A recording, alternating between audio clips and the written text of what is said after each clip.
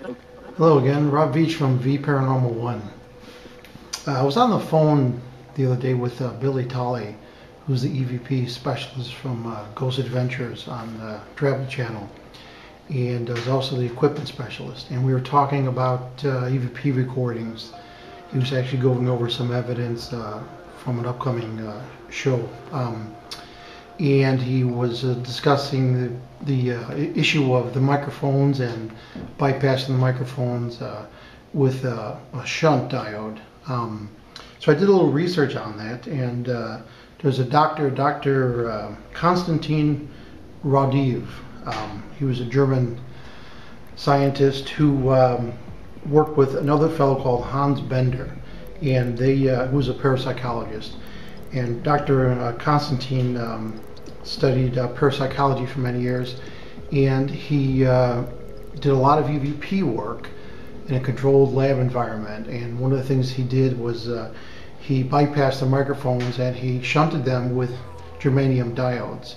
So I went ahead and I built uh, a uh, prototype, very simple, and I have uh, the schematic um, I'll show on the screen here and close up of this.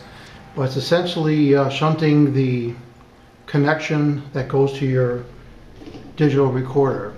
So wherever your microphone is, you're going to plug this in like that. And you're not going to have any more audio going into the two microphones. It's going to essentially have zero audio. But if there's an EVP, hopefully it'll come through and it'll come through those diodes, which kind of, they're not microphones, they're really shunts. They actually will will uh, short circuit the uh, front end circuitry to ground. But it's an interesting experiment to see um, if you get any kind of EVP using this. Because if you do, it's pretty valid because there's no acoustic information going into it anymore. Another question that uh, Billy had was uh, whether you can synchronize two digital recorders. And I did an experiment and I was able to. Um, you start them off the same time, you put a pulse or a control tone there or a hand clap or a clapboard and you synchronize them up in your audio. And then you could have your regular EVP recordings going on where you have all the audio information. And then you could have the, um, the shunted EVPs where you have the diodes shunting it. Um, so I was able to synchronize that and uh, it worked really great. What I use to synchronize is actually just a little electronic clapboard and it just generates an audio pulse and an infrared and a uh, blue LED pulse.